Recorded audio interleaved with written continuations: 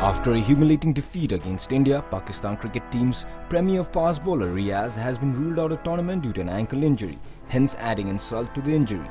The 31-year-old left-arm quick suffered the setback while bowling during Pakistan's first match of the tournament against arch rivals India. It turned out to be a miserable match for Riaz as he had been hammered all over the ground and conceded 87 runs in 8.4 overs before falling in his delivery stride.